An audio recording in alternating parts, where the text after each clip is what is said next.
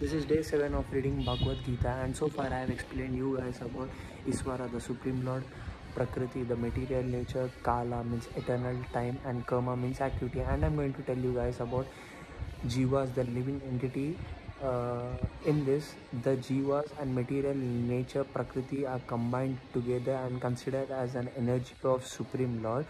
But in this, the Jiva is conscious and the Prakriti is not conscious and the example given in the Bhagavad Gita is a human being living should not consider him as perfect perfectly or supremely conscious uh, whether he may achieve uh, many awards or wealth in this world because this theory is considered as false if an human being is considered as perfectly conscious because the lord is the only one person who is perfectly and supremely conscious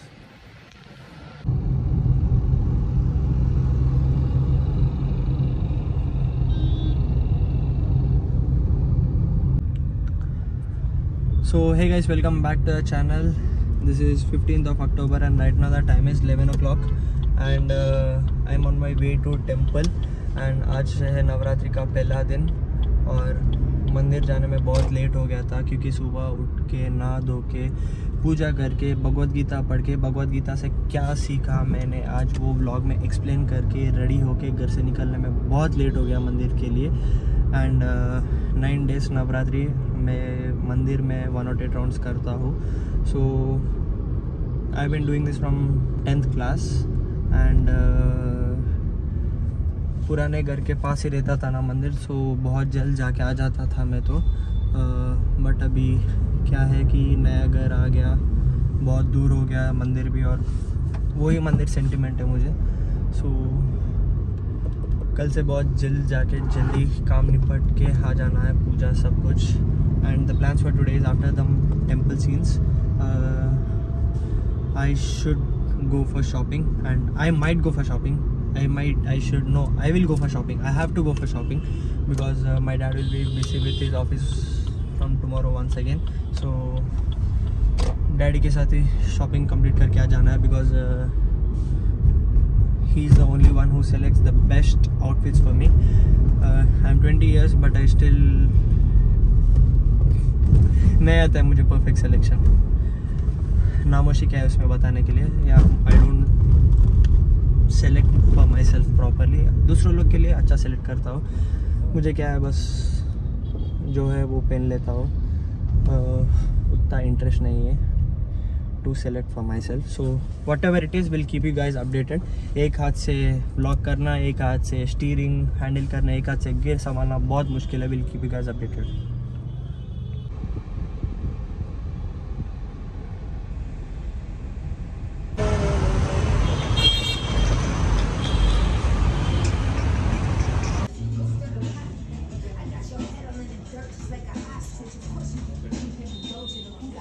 So right now the time is 2 o'clock and we are at uh, Jack and Jones in Jubilees and I'm going to try this funky jeans first and then this one is like a cargo.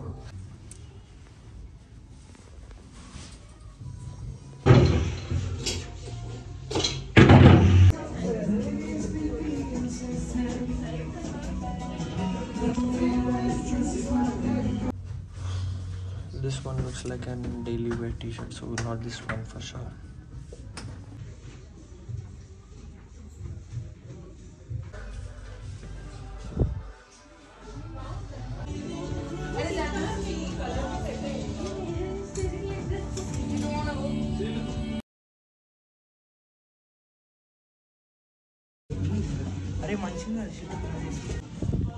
So after many trials एक अच्छा outfit select हो गया। ये वाला नहीं, ये वाला बहुत बकवास है। दसरा के दिन देख लेना। Not this one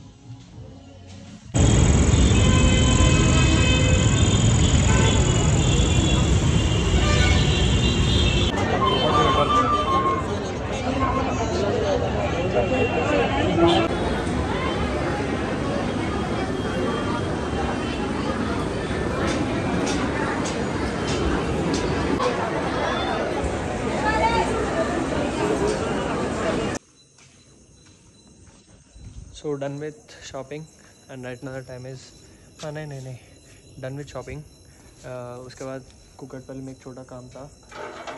वो काम भी कंप्लीट करके बोइनपल्ली आके, फिर दोस्तों के साथ सिकंदराबाद मंदिर जाके, दर्शन करके, अब भी घर वापस आया। एंड शॉपिंग भी हो गया दसरा का बहुत जल्द। एंड हमारा यहाँ शॉपिंग का बिल बताने से नज़र इंटू टू टाइम्स हो जाता है, इसीलिए नहीं बता रहा हूँ कितना शॉपिंग हुआ। बस तमनेल में ऐसे कुछ ज़्यादा ही लगा लेना व्यूज़ के लिए। That's it for today thank you so much for watching this blog I hope you guys like for what's reason please like share and subscribe thank you so much for watching bye